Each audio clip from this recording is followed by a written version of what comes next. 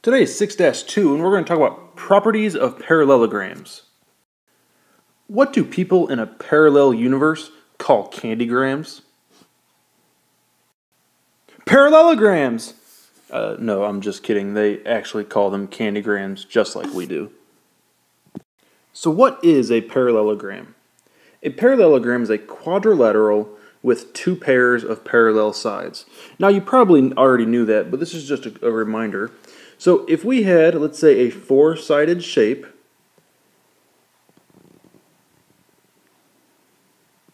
we can call this four-sided shape A, B, C, D. Uh, so we have a quadrilateral, and how do we know if this is a parallelogram? Well, it needs two pairs of parallel sides. So perhaps AB is parallel to DC, and AD is parallel to BC. Therefore, we would say that ABCD is a parallelogram. But do we need to write that out every single time on paper?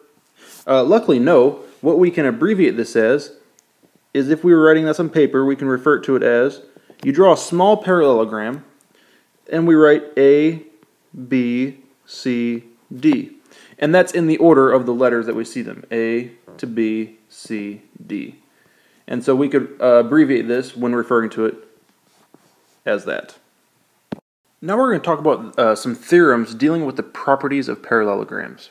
We have four theorems, and our first one, 6-2-1, says that a parallelogram has congruent opposite sides. So we're going to look at the parallelogram from the previous slide, ABCD, and we're going to explore exactly what this theorem says. Let's choose a side, AB.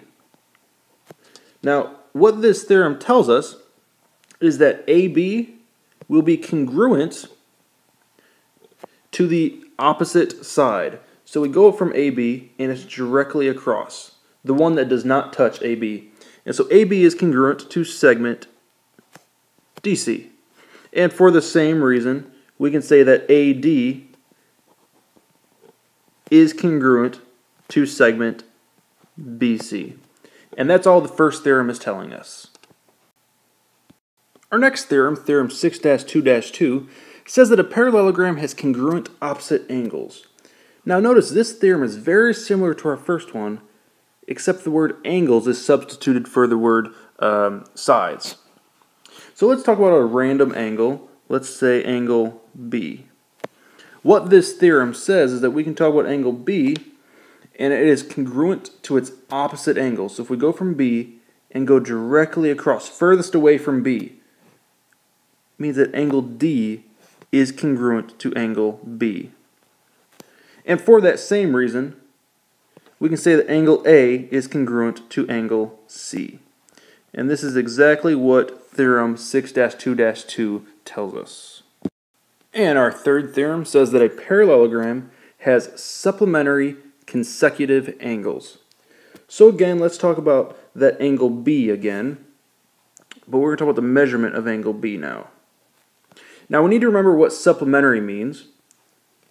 supplementary means adds to 180. They add to 180 degrees consecutive angles. So let's look at angle B, and we're talking about the angles right next to angle B. So we're talking about A, and we're talking about C. What this means is that the measurement of angle B plus the measurement of angle A is equal to 180 degrees. Similarly, we can say the measurement of angle B plus the measurement of angle C is equal to 180 degrees, which we should have known because our previous theorem said that A and C are congruent because they are opposite. And then we can also say the same thing about if we talk about A, it's going to be supplementary to D and B, uh, etc., going all the way around the parallelogram. Our last theorem we're going to talk about today says that a parallelogram has diagonals that bisect each other. So we need to draw in a diagonal that's from one vertex to another. Let's go B to D, uh, B to D, and also from A to C. Now, let's call that intersection point, let's call that, I don't know, M. What this theorem tells us here is that BM, segment BM, is congruent to segment DM. The reason why is that we have a diagonal and it's bisected, it's cut in half. Also, we know that AM is congruent to CM. And again, because that diagonal is cut in half. So these are all the theorems we're going to talk about dealing with the properties of parallelograms. Now we're going to look at three examples, uh, two or three examples, using these properties. Our first example says that EFGH is a parallelogram, and we have two parts here. We want to find the length of JG and the length of FH. So let's go ahead and start with part A. And we want to find the length of JG. Hmm. So we start this off. We say that JG, currently JG, we just know it's equal to W plus 8. Of course, that's not a good enough answer for us. We have to find a number answer. Uh, uh might be helpful to find out what W is. Well, how could we do that? Notice EG is a diagonal. So is FH. In fact, this diagram looks very similar to our uh, last theorem. What we can say through that theorem is that EJ is congruent to JG. Meaning we now have 3W is equal to W plus 8. And now solving for W, uh, we can subtract the W over to see we have 2W is equal to 8. We can divide by 2 and thus we see that W is equal to 4. Now we're not quite done because we want to find JG. Well, we know what W is, so we can just substitute in here. JG is equal to 4 plus 8, or in other words, it is simply 12. And now we are done with part A. And now that we have done part A, we want to do part B. So for part B, we are supposed to find the length of FH. Now we're kind of doing the same thing here. Uh, we notice that FH is a diagonal uh, and EG is a diagonal. So this theorem, this previous theorem, tells us that FJ is congruent to JH. Now since these are congruent, we can say that 4z minus 9 is equal to 2z. And now we can solve for z. We can uh, subtract 4z over, subtract 4z.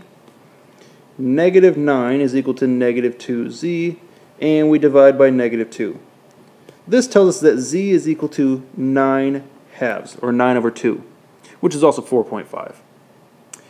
Now again, we're not done yet because we need to start plugging in some z. First, we need to plug it in up here. We need to find what fj is equal to fj is equal to 4 times 9 over 2 minus 9. And now simplifying this, we get uh, 18, we get 9. Uh, you can type that into a calculator or you can go step by step. fj is going to be equal to 9. So we saw this top segment was 9. Now we need to find jh. We can do this one of two ways. The first of way is just plug in 2 times 9 over 2, which gives us 9. And now we're done. Uh, the second way we could have found the length of JH is by using the fact that FJ is congruent to JH. So once you found FJ, you automatically know JH, which as we see, they both are 9. Now finding FH is fairly trivial because FH is simply 9 plus 9 or 18. This is using purely our last theorem. Uh, it wasn't too difficult, but you had to notice that these uh, segments were congruent. Our next example says that PQRS is a parallelogram. Three vertices are P, which is at negative 3, negative 2, Q, which is at negative 1, 4, and S, which is at 5, comma 0. We want to find the coordinates of vertex R. So my first guess would be is that we must graph this in the coordinate plane. So we go along here and we see that P, which is at negative 3, negative 2, which gives us P right here. Uh, Q, which is at negative 1, 4, so we put our Q up here. And S, which is at 5, comma 0. From the first slide, I told you that we name a parallelogram in the order the letters show up. So it goes P, then Q, then R, then S. What this means is that if we start at P, go up to Q, R has to be somewhere in this upper right vicinity. And that's because it would go P, Q, R, down to S. So we're looking somewhere in here, but where exactly? Well, notice the word parallelogram. Again, from the first slide, what does a parallelogram mean? A parallelogram is a quadrilateral with two pairs of parallel sides. Also probably why it's called a parallelogram. So parallel sides. We're also dealing with the coordinate plane. Whenever in your entire life you uh, you are dealing with parallel and the coordinate plane, you should think about one phrase all the time, and this is same slope. Parallel implies same slope. So how we go about doing this now, because we're dealing with slope, what is slope? Slope is rise over run. So let's go ahead and see what the rise and the run is from things that we know. We know P, we know Q. So we can simply just go ahead and count. You could use the slope formula. You could say the, the y1 minus y2 over x sub 1 over uh, minus x sub 2. But since we have it in the plane, just go ahead and count. We go up 1, 2, 3, 4, 5, 6. So the rise is going to be 6. What is the run? Well, we went up 6, so we went up 1, 2, 3, 4, 5, 6. And we went over 1, 2. So it's going to be 6 over 2, which is, uh, well, it's the same as 3 over 1. But because we're dealing with 6 over 2, let's deal with the, start at the S. We know it's going to be up in this vicinity, so that's going to help us out. But we're going to go up 1, 2, 3, 4, 5, 6, and then over 2, which gives us our R value right here. All we have to do is see what that uh, what the coordinates actually are there. Well, since it's over 1, 2, 3, 4, 5, 6, 7, it's over 7 and up 6. R is at the coordinate 7, comma 6. And now we are all finished.